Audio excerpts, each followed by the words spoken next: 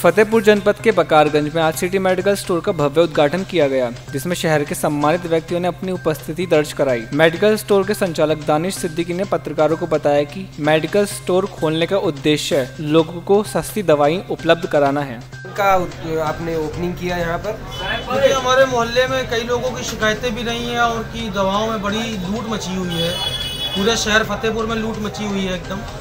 तो इस वजह से हमारे दिमाग में ये आया कि हम अगर सेवा दूसरी चीज़ों में कर रहे हैं तो इन चीज़ों पे भी सेवा कर सकते हैं। तो हमने दवाएँ लाए कम मार्जिन में हम दवाएँ लोगों को देंगे ताकि लोगों तक हमारी सुविधाएँ पहुँच सके ताकि दवाओं से कोई जो है निराश होकर के वापस न लौटे कि उसके पास पैसे कम है। अगर किसी के पास पैसे नहीं है तो हम उनको फ्री में भी दवा देंगे।